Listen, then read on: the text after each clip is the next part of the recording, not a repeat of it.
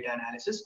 You store that data, you use the NGS softwares, you upload it there, and then you get the data analysis of those as well, right? So this is the broad three uh, optimization process that people go for. In the same way, if you are doing an NGS, you can optimize the second process, right? So the first process is your library creation. The second process is sequencing. So you can always optimize the sequencing process. And then finally, you go for data analysis. Now, NGS process mainly finds two major applications. One is your chip sequencing and one other one is your RNA sequencing. Now, what happens in a chip sequencing is that the term, the terminology chip basically comes from chromatin immunoprecipitation. Now, CH from chromatin and uh, IP from immunoprecipitation. Now, what happens here is basically you are conjugating two processes together. You are doing chromato-immunoprecipitation as well as you are doing DNA sequencing and you are repeating these two processes simultaneously. You are doing these two processes simultaneously, right? So on the one hand, you are doing your chip uh, analysis, you are doing your chromatin immunoprecipitation, and also as soon as you get the desired result, you are going for your DNA analysis as well using your whatever DNA sequencing process that you want to go for. So the very first step is you get your genomic DNA, you cross-link the protein. Now what happens here is in chip sequencing, the major idea behind the chip sequencing process is that you the necessary need to go for a chip sequencing is to see how proteins are able to interact with the DNA molecule. Let's say you want to find how a specific protein is interacting at what specific site of your DNA molecule, then you go for your chip sequencing analysis. So you cross-link your protein to your DNA molecule over here. So first you defragment it. So you have defragmented your bases over here. The main idea here is that the amount of bases that you're defragmenting, it shouldn't be much larger. It should be not more than 500 base pair long. Because if it goes more than 500 base pair, then what happens is the complexity of your process increases out. And there's a chance that you won't get the desired result. That's why people try to keep the base pair very short, around 300 to 400. That's it. Or somewhere from 200 to 400, you can see, not beyond 500 right? So once you have uh, like defragmented your genomic DNA, you cross-link the protein to your DNA molecule. Once your cross-linking of your protein to DNA molecule is done, you get your cell lysate over here. Now you go for centrifugation process. As soon as you go for a centrifugation process, you will get your supernatant and then you will get your precipitate. Now in your precipitate molecule, in your precipitate that you've obtained, you will get your proteins which are interacting with your DNA sequences, right? So you throw off your supernatant, you collect your precipitate, and once your collect, collection of your precipitate is done, you then unlink the protein and then you purify the DNA. So the basic procedure was first you got your genomic DNA, you fragmented the genomic DNA into short bases, short base pair long, and then you cross-link the protein to DNA. The reason we are cross-linking is because we are basically want because we basically want to find how a protein is interacting with a DNA molecule. That, that is our major aim, right? So you cross-link the protein to DNA molecule. Once this cross-linking is done, then you shear or you tear down your DNA molecule by sonicating. So you go for sonication process, you, have, you get what is called as a cell lysate. In the cell lysate, you add bead and then you add antibodies. Now, why do you add antibody is this process, the process whereby you are basically adding or attaching your antibody is a process called as chip or the chromatin immunoprecipitation. So this process is known as your chromatin immunoprecipitation. So here, that's why the name chip sequencing came from. Chip from here and then sequencing from your normal DNA sequencing, right? So what you do is as soon as you get your cell lysate, you apply your antibody, which is attached to a bead. So these antibody will then find the corresponding sequence in your protein and it will find your target protein. The antibodies will get attached to the target protein and then you go for centrifugation. As soon as you go for centrifugation, you get your supernatant, you get your precipitate, you throw out your supernatant. In the precipitate, you have your DNA sequence attached with your protein and along with the antibody. Then what you do is that you then like bifurcate your protein and DNA molecule. So you unlink because here what we did was we first joined the protein and DNA. Here we are like unjoining both of them. We are like bifurcating protein. We are separating protein and DNA molecule. And once you purify your DNA, for purification process you can go for hplc or rphplc or other there are different analytical process you can go for. And once you obtain your purified dna molecule then you go for your sequencing process or the next generation sequencing and then you can get your final sequences that you want. So this was the one major application whereby you want to find how your protein is basically interacting with your dna molecule right? In the same way there is another process whereby you can go for your RNA sequencing as well, right? Now, the reason RNA sequencing has found its major interest is in the oncology field, in terms of cancerous field, right? So majorly what people do is that the major idea here is the same, is just that you're adding one more step. That is, you are first isolating your RNA. Now keep this thing in mind that you can't do sequencing with your RNA. You can do your sequencing with your RNA, but that process is not very, much reliable as compared to your DNA sequencing, right? So you obviously have to convert your RNA into a DNA sequence. And we know how to do that, right? We convert RNA into your cDNA libraries. And then after your cDNA is created, you go with the same process again and again. So what here happens is that let's say you have a sample of interest, right? You have your tumor sample with you and let's say you have a control as well which is a normal uh, cell which is not non-tumorous right? You isolate your rna from here. Now once your rna is isolated we know that transcription process happens. And after transcription there is also a process called as post transcriptional analysis or post transcriptional modification right? And in that post transcriptional modification there are various processes that happens. There is a polyadenylation tail whereby on your tail end you add multiple adenine Uh, nucleotides. And you have your 5 prime capping as well right? So you go for your post transcriptional modification. You add your polyadenylation tail you add multiple adenine groups over here. As soon as your multiple adenine groups are added now you have your rna ready with you. And then using that RNA, you convert it into a cDNA. So you convert it into a cDNA library, you generate your cDNA library, and then once your cDNA library is generated, then the same process is repeated again and again you go for your sequence end, you have various kind of repeats, you have your cDNA fragments with you, then you go for your complementary sequence DNA, you again attach an adapter to it. Once your adapter is attached, you go for a, a radio labeled nucleotide, your nucleotides will be added. You then have to like, uh, you know, finally you have to cleave those things. And as soon as your new nucleotides are added, your radio labeled thing will fluoresce and as soon as the fluorescence is shown you will detect that and then according to that you will finally generate your final sequences that you have right and this is majorly involved in the process of uh, RNA sequencing is majorly involved in the process of oncology. Like oncology is a basic field whereby you will find people doing RNA sequencing. You can obviously go for various other kind of fields as well, whereby you can apply RNA sequencing. But majorly people are using this in the field of cancerous or oncology, so to say, right? So these were the major two broad spectrum whereby NGS has right now found its uh, major use. Like people are also using different kind of uh, applications as well. But majorly, if you go and find people who are doing NGS, they are mainly doing it for these two types of process only. Other people are doing it, but still we are waiting uh, for that specific boom to happen in the terms of NGS, right? And we are seeing that right now. So that was with the how the basic NGS happens and how you can you know always go for your NGS things.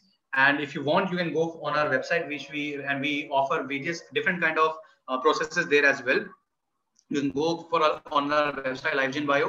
You will find different uh, courses there as well, which are really relevant in terms of your bioinformatics handling. Uh, you know, you know, giving you a hands-on experience in terms of whether you're going for an industry or you are building your own industry or you know you are going for a major you know breakthrough.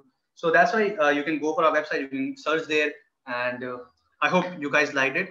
Uh, we will be back after uh, five minutes of break and then we will be uh, seeing how you can actually process your data using your NGS software. Okay. So thank you very much. You guys can take a five minute breaks and we will be back again.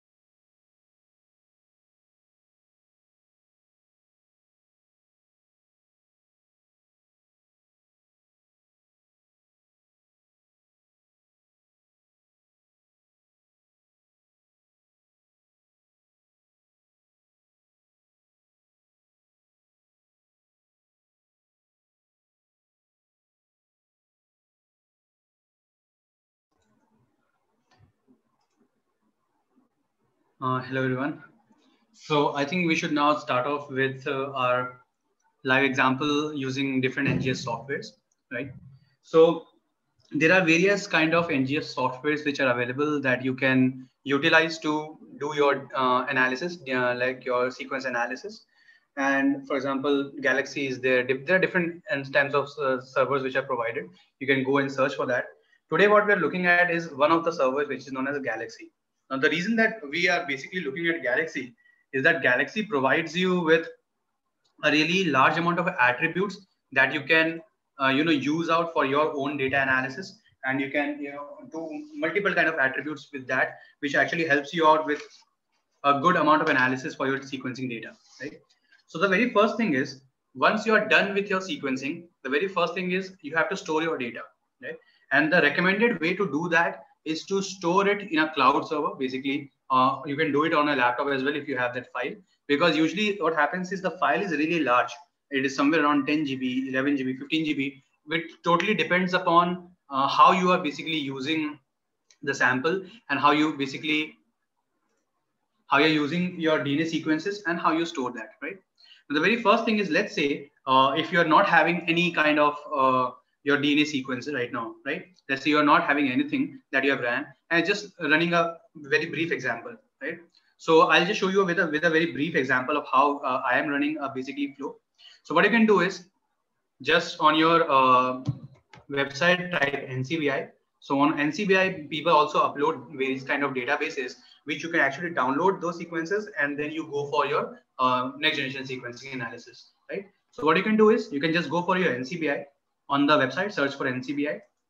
On the homepage, just go on the homepage of NCBI. And then on the left hand side, there's an option of all resources. So click on all resources. So you will get something like this. So it will show you all the resources which are available uh, in the NCBI, different kind of databases which are available in the NCBI where people submit the database. So you have your biosample, biosystems, bookshelves, all these videos, right? What I want you to do is scroll down. And once you scroll down, you will get something called as genome, right?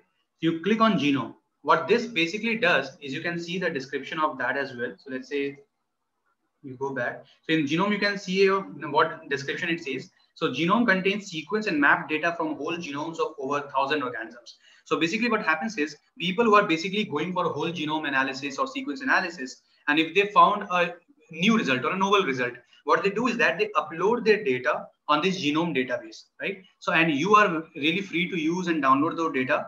Obviously, you have to, you know, give them credit for all those things uh, before you are going to use the, their data just uh, you know have those because those data are licensed data so you have to have take permission from those them but obviously for your own personal use you can do that just to have a basic hands-on experience right so you just click on genome and it will open up a whole these things right and you can search over here otherwise you can go from here as well you have external resources you have this other resources you have custom resources let's say you want to find for you know, human genome you want to find it for microbes organelles, viruses, prokaryotic reference genomes, all these things.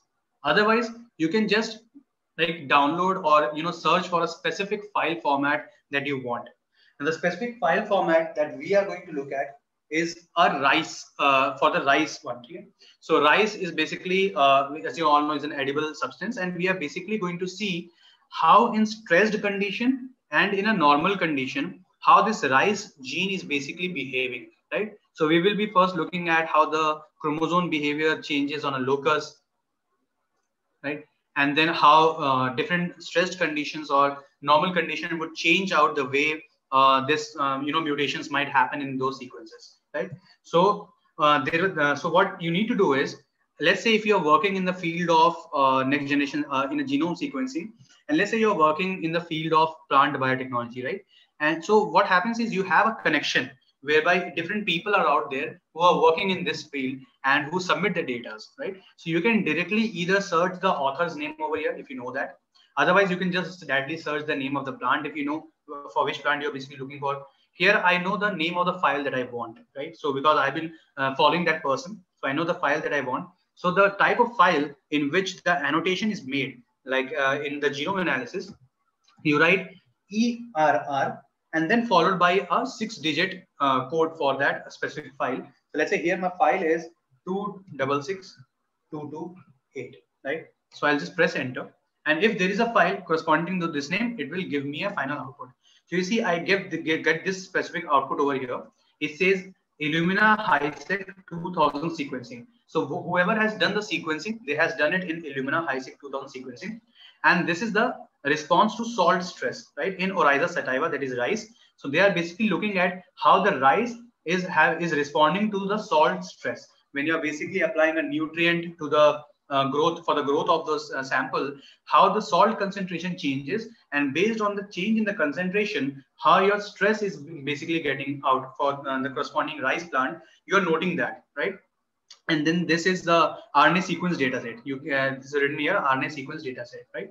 So what you can do is you can just scroll down. You can see uh, the name of the server that they had used. So they have used the Illumina HiSeq 2000 run uh, in 20.6 uh, megabytes of spots and this is the file size. So 1.16 G, G, uh, gigabytes of bases are there and itna MB download. So this is basically 601.7 MB download. So if you download the sample file, this is the amount of data that the file has stored, right? So it will take a large amount of time for you, but depending upon your internet connectivity, you can download the file uh, fast or slow, right? And then this is the design. Basically, what is the design? Design basically here means the aim of the project that they were looking for. So basically, they have uh, founded the response to salt stress treatment in Oryza sativa. Then it is submitted by EMBL, that is the European Bioinformatics Institute, and they studied the response in the salt stress. And these are all the different files that have, they have created, right? So these are the two major files, but there are all other different files as well that you can look for. You can go for all experiments, all runs, and then you can just look and finally download those things. You can see here they have the sample name as well. You have the library over here they have defined all these things the basic abstract of the paper they have downloaded here. And then here you can see the runs how many runs are there right? So this is the final major file that you are going to download right? Or in this case i am just showing you. So i want to download this so i'll just click on this. And it will take me to another browser. So this says so this shows me all the list of this run. So this is this run has one red per spot. So basically, the uh, when they ran this particular sample, they did it in public and then they last updated it. So public means when they first uploaded the sample on NCBI. So they did, did it on 2015, and the sample file was last updated in 2018. And then again, this is the same thing over there. You can get all those things, right? This is the project, and this is the SRA study, right? So now that you have attained this, there are two ways what you can do. Either you can download it from here, or Another thing is you can directly import the data into your Galaxy server, right? So for the next thing you can do is just go to your uh, Google and uh, type Galaxy NGS. It will show you the very first uh, link, usegalaxy.org. Just click on that. It will take you to the home screen of your Galaxy server, right? Now, before using Galaxy server, what you need to do is that you have to have your account over here.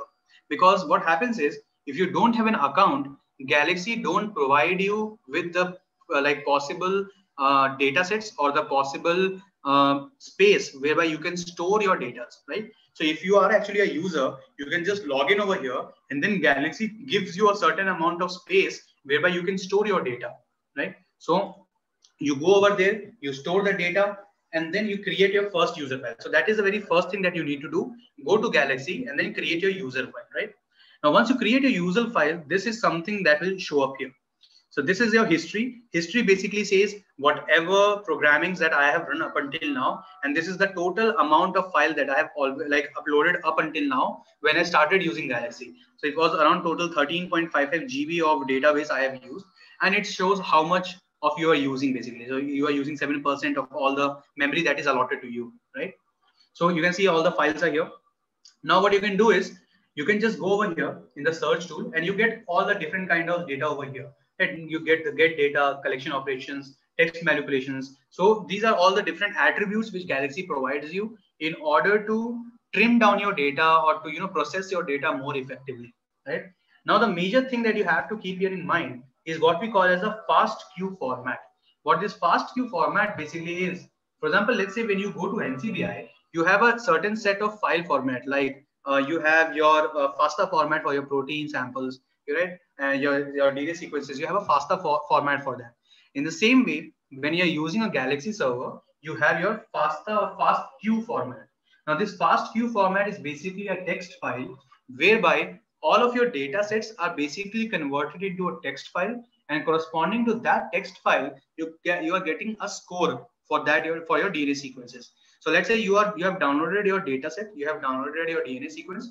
Once you convert your DNA sequence or the data that you have into a FASTQ format, what FASTQ basically does is it stores two things. First, it will store your DNA sequence and corresponding to that DNA sequence, it will store a specific value or the point we can see for that specific sequence that you are running, right? So the very first thing is either you can go from NCBI and uh, download the data sets. If you don't want that, because what happens is it takes a large amount of time because you can see the size is 714 MB. So it will take some time for you to download the whole data set. So it's obviously not advisable to go for that. What you can do is in the tool, you can just type SRA, right? Just type SRA. What SRA basically does is that if you just search it, right? So now what you can do is I'll just let you know what SRA basically does. So what happens here is that the SRA file that you are basically asking for is nothing but the sequence analysis for this particular sample file that we are going to look at. That is what is in the short form is written as SRA, right? So now as soon as you search for SRA, you get these different options over here, right? EBI SRA, SRA, ENA SRA, download and generate file format, this one. Now we are going to go for the FASTQ format because that is the default format with the uh, which uh, Galaxy server basically understands for, right? So what you can do is you we are, we are going to download and extract the reads. What this extract read basically means is that you are going to download the file directly to your Galaxy server and then the Galaxy server will give you the output, whatever data has been stored in that file. So you don't have to open the file. You just have to export, import the file into your Galaxy server, click on that file and whatever data that file has, you will get all the data over here right? So you'll just click here. Once you click it, you get something like this, right? Now you have to add the accession number, right? So for example, I was looking for this one, ERR266228. This is my accession number. Now you can select the output in which you want, right? So there are these three types of output. Either you have a zip folder or you have an unzipped one or you have your bzip one. Now what happens with a zip thing is that if you import your zip file, you have to extract it and then extraction takes a large amount of process because your file is already very like like it is huge in size right? So then extraction takes a large amount of time. So it's always better to go for an unzipped fast queue format. So just click on unzipped and then execute it. Once you execute it it will show you like this the executed and you can see here my file is here right? And it starts loading. Now this file is really uh, uh, like the, the size of this file is really large, right? It is somewhere around 714. So it will take some time to process all this file, right? So what I've done is I've already processed this file beforehand because then it will take a large amount of time around it will take around 10 minutes or 15 minutes depending upon your internet connectivity how much you long so what you can do is you can just delete this one here right so i'll just delete it now what you can see here that this is shown in your history. So history basically shows what you are basically working with, right? Or, or for which sequences you have already worked with. Now here it says 79 shown, 31 deleted, 24 hidden. What this basically means is up until now, whatever I have worked with on those files, 79 are shown currently here. So 79 files have been shown over here. Then 31 of them are deleted. So I have deleted 31 of them, which were not relevant to me. And 24 of them are hidden. So basically what we do is that why we hide the file is that sometimes what happens in this open type of server is that your data might not be that much safe, right? And that is the case with every kind of servers. So what you do is that you hide the data, right? And then you can obviously access by clicking here, you can obviously access whatever your hidden data are, right? So I have already uh, downloaded that file. So I'll just show you. So these are the files you can see these are the, files that become green, right? So th these are the files that have been already loaded out. And some and the files which are still loading, you can see it is still buffering out. So it is taking some time. I have also ran some of my files. So it is already running now and it will take amount of time because you have run a large amount of time. And then these are in queue. So those files uh, in front of whose a clock symbol is made, that is those files are in queue right now right? And these are running. So basically this is your data analysis, which is being running now for the file that I have been using up until now, right? So those are basically running here. So now that you have downloaded this file, what you can do is that you can always look out how to use that file. So what you can do is, I'll just show it over here.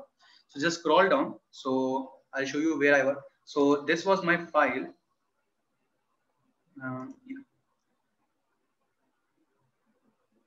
Just to say it takes some, some amount of time to visualize the data over here. Right.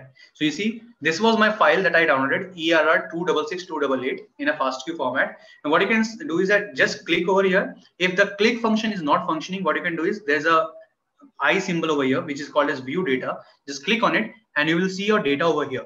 You see this is very encryptic manner. You can see something is written over here right? What this basically is this is a fastq format so whenever you write a file in a FASTQ format, there is a specific type of structure in which the FASTQ format writes your file, right?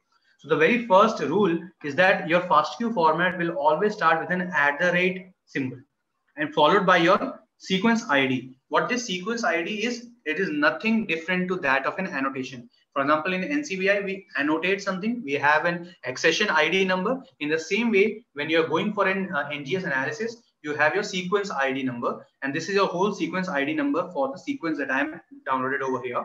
And then this might sometime be followed by a description. Now descriptions are optional. If you want, you can add the description, but I haven't added any description. If there was a description, it would have been continued over here, right? Then the second line is your actual sequence, the sequence with which we are going to work for. So this is your actual sequence. The third line is nothing, just the replicate of this sequence followed by a plus sign. That is that. The third line is just the same thing, whatever it is written over here with a plus sign. And fourth line is remember I told you in FASTQ format, what FASTQ format does is that it stores two things. First is your sequence with which you are going to work and corresponding to that sequence, your key value or the scoring value. So these are the scoring values, right? Now they don't look like a numeric value because they have been converted into an ASCII format, that is ASCII format. They have been converted into an ASCII format, and in an ASCII format, these values have a specific sort of values associated with them, right? You don't get a numeric value. Your numeric values are converted into an ASCII format once you convert your file into a FASTQ format, right? So this is how you uh, like write your uh, the uh, value scoring values basically. The only thing to note here is that this the line this uh, the sequence of this scoring value should coincide with the uh, length of your sequence. It need not coincide with like it, it doesn't need to be like if it is t here so t should be here as well. No it doesn't happen like that. The only thing is whatever length of your sequence is that should be the length of your scoring value as well. It should not vary with that. That is the only thing right? So this is your these four lines basically construct your one sequence and the same way goes in for another sequence. So you can see there are a whole lot of sequences which are there and you can just scroll down over here and you can see oh, there are different kind of data sets available over here, right? So we have run the sequences, you have different sequences over there and then you have this, right? Now, once you have this file over here, the next step to do is that you see there's an option called as upload over here. Uh, sorry, download over here, right? From URL. So what you're going to do is that you're going to click on it and then what you can do is you can either download the file from the web or you can upload it from the disk. Now, what basically we are going to do is that this file that we have downloaded over here, it was a FASTQ format, right? But we don't want a FASTQ format because what happens is in a Galaxy server, there are only two main sorts of file that Galaxy works with. One is your FASTQ format, which basically stores the data that you have. Another file that you have is called as the GK3 file, which I'll show you here, GFF3 file here, right? So this is the file that basically consists of, of your all data, which is the rice. Basically, we are going to work with rice. So you have your rice plants over here and all the data has been stored over here, right? So we have to work with these two files, right? So I'll show you how to download this file as well. So to download this file, what you need to do is go over here, click over here, and then you have uh, something in the bottom uh, center. There's an option called as paste slash fetch data. So you can click over here and it will allow you to enter either you can directly upload your files from your computer. If you have on your local computer workstation, you can upload the files from there. Or if you know the link where the file has been created, you can just copy and paste the link over here as well, right? So what you can do is I'll show you uh, the link for that file as well. So this, this is the Galaxy. Uh, right. So this is my uh, uh, website where all the data has been stored, right? So this is basically the Rice Plant Biology MSU.edu. So MSU basically the university whereby the work was going on. So you can see, let me just uh, delete all this thing. Right. So this is basically your, uh, this one, uh, the file that has been created uh, over here. So what they do is that they have a own directory whereby they upload all of their data sets, right? So you can directly get the data from there. So you just click on data. You have your these different type of things associated with you. Eukaryotic projects, TIGR plant repeat, rice gene association. So we are going basically for the eukaryotic projects. In your eukaryotic project, you have the sativa, right? Oryza sativa, that is for rice. You click on it. In this, you have your annotation values. You have you click on it on that you have your pseudo molecules basically these are the tools tools are basically uh, the data sets that uh, you you what tools you utilized to do the ngs and then you have your pseudo molecules this is the file which basically consists your whole data that you have that you are storing basically. So we click on pseudo molecules and then you see there are different versions